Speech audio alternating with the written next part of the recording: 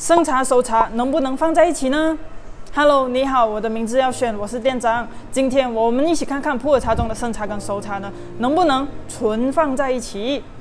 存茶呢是一件值得鼓励的事情，尤其是越陈越香的普洱茶哦。你存放久之后，它价值就会越一直提升、提升、提升。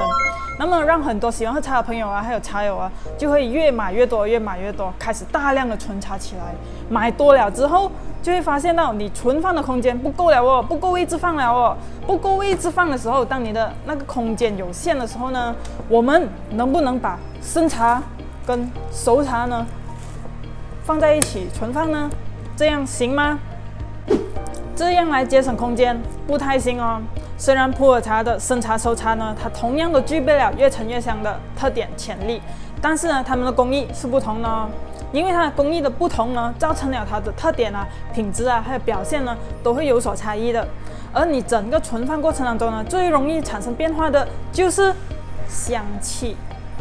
生茶在香气上的表现呢，多为毫香、清香、花果香等的香气，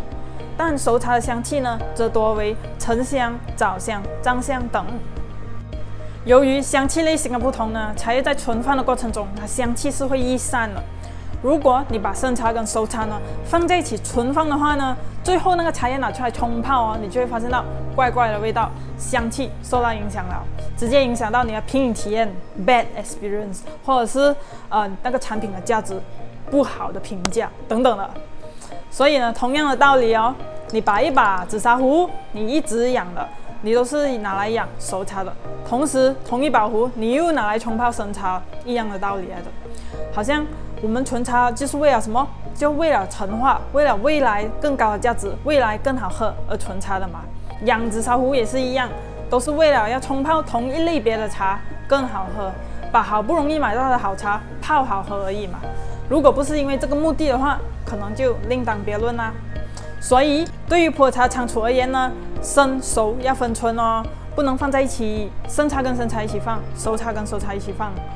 就算我们单独存放也好呢，我们也要照顾到它环境条件有没有得当哦，有没有闭关，有没有防潮，有没有防异味等等的条件，其中一点没有照顾好来呢，就可能会让我们心爱的普洱茶面临到未来品质的那个考验，还有未来品质的那个挑战等等的。所以仓储呢，对普洱茶来说呢，是非常非常重要的，至关重要的一点啦。无论你是存一片茶、一桶茶，还是一千桶差都好，都是非常重要，要注意哦。